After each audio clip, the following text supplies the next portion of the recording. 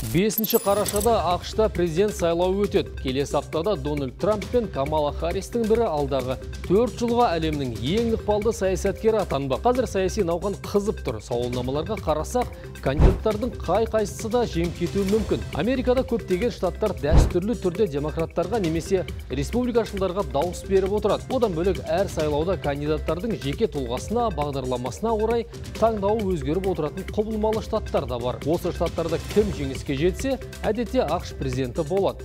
Сондықтан қарсыластар шешім қабылдамаған сайлаушыларды өз жағына тарту үшін түрлі айла әрекеттерге көшті.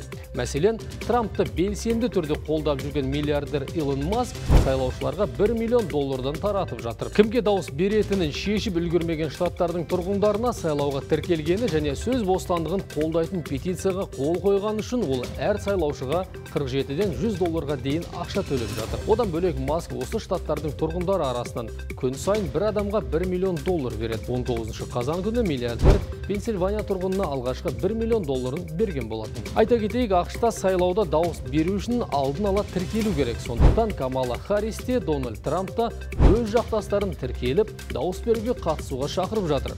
Сарапшылардың арасында Масктың әрекеті қаншалықты заңды деген сауал туындады. Кейбір сарапшылардың шамалауынша бұл ақш заңдарына қайшы себебі елдің заңнамасына сәйкес сайлаушы ретінде тіркелгені үшін ақша ұсынуға тыйым салынған. Ақштың сайлау кодексіне сәйкес сайлауда тіркелу немесе дауыс беру үшін ақы төлеген адамға 10 мың долларға дейін айыппұл салынады. Немесе ол 5 жылға бас бостандығынан айырылады. Биылғы нобель сыйлығының лауреаты джеймс робинсон казинформ агенттігіне берген сұхбатында илон масктың жасап жатқан әрекетін сайлаушыларды сатып алу деп бағалауға болады деді. Оның пікірінше жұрттың назарында болғанды жақсы көретін Илон Маск өзі ақш президенті бола алмайды. Себебі оңтүстік африка республикасында дүниеге келген. Бірақ осындай айламен саясатқа әсер етіп отыр. Он күн бұрын ғана нобель сыйлығын алған экономистің пікірінше демократия бұндай ауқымды қаражатқа төтеп бере алмайды. Ақш әділет министрлігі масктың бұл бастамасына түсінік беруден бас тартты.